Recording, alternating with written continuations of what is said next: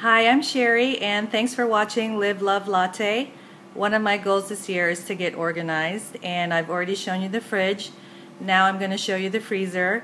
Thank you to Alejandra and other YouTube channels that have given great tips on how to organize the home. So, again, the label maker is my new best friend. Here in the door, I have two shelves that are ice packs, different sizes.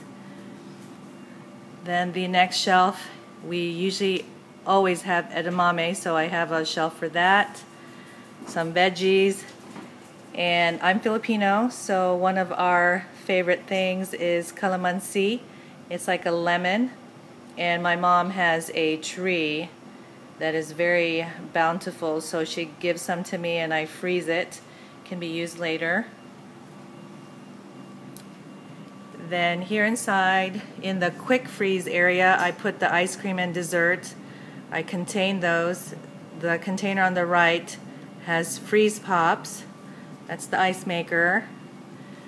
And on this shelf, I have lumpia wrappers, which are egg roll wrappers. Appetizers, you can see the mini quiche there. And this shelf has file totes. I got this idea from someone on YouTube. I couldn't remember. I wanted to thank that person. Got the file totes from Container Store. I think they're about $5 or 6 And I put the frozen entrees meat here, like there's veggie burgers in there. This is where you put like the bagged stuff that are hard to contain. And this one has the frozen veggies. So you can see here there's like hash browns, probably corn in there. And usually those big bags from Costco, once they start dwindling down, that's a great place to put them. And on this shelf, we have the veggies and fruit.